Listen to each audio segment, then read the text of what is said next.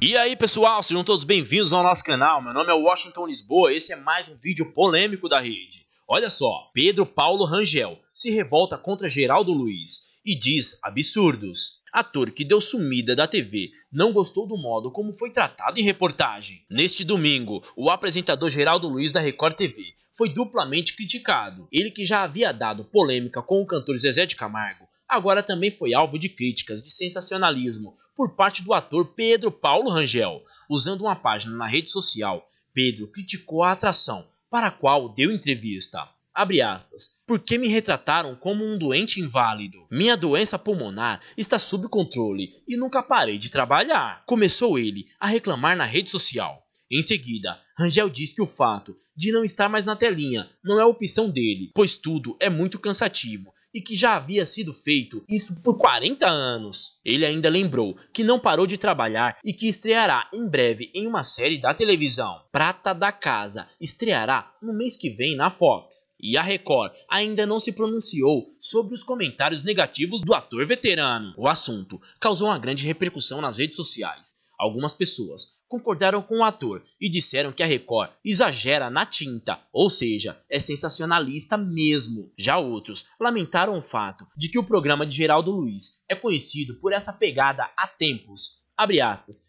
Sinto muito, gosto muito de Pedro Paulo Rangel, mas saber, ele sabia do sensacionalismo da Record. Melhor quem não sabe. E mesmo assim, como o amigo Pedro Cardoso fez o clássico e foi chorar na Record, então não venham com essa sobre edição. Pode até ser, como ele diz, mas o grande problema dessa gente é que deve receber uns trocos a se submeter a isso. E não é ingenuidade. Disse um internauta que não gostou muito da resposta do ator contra o jornalismo na segunda maior emissora do país. Outro internauta disse que a ação da Record TV está vinculada ao fato do canal não estar mais em boa parte das TVs por assinatura no estado de São Paulo.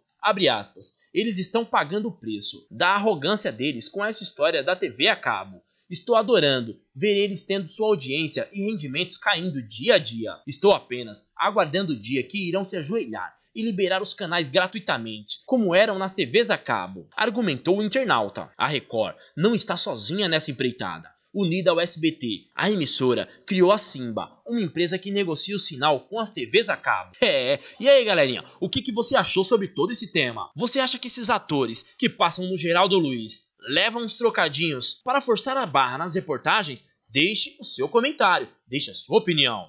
Meu nome é Washington Lisboa, se você curtiu esse vídeo, deixe o seu like se inscreva no nosso canal e ative as notificações. Mais informações temos aqui embaixo na descrição do vídeo, juntamente com nossas redes sociais. Se inscrevam nelas. Um grande beijo e um forte abraço. Eu espero vocês no próximo vídeo. Tchau, tchau, pessoal!